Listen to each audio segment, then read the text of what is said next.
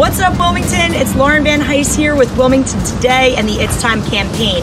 Today I'm getting out on the Christina River with Blue Rooster Co-op. What are we getting into today? Uh, we're just going to see some sights of the riverfront, um, float by. I got nothing. That's what we're doing. Yeah, we're just have a gonna, we're just going to be floating down the river of life.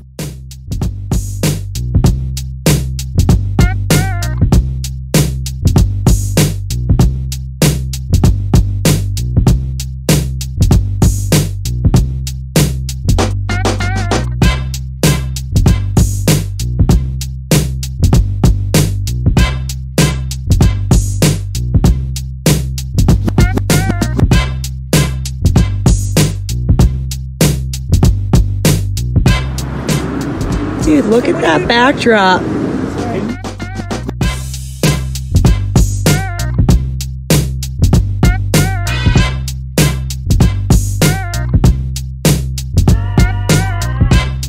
So your Instagram said you're like a taco truck, but for the water. So what does that mean? Taco truck with kayaks. Yeah. So it's basically uh, we're mobile, Okay. so we can show up anywhere in the great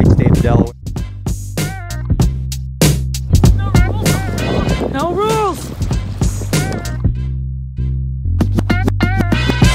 All right, Wilmington, I hope you enjoyed our journey today on the Christina River with Blue Rooster Co-op. Follow them on their social media at Blue Rooster Co-op.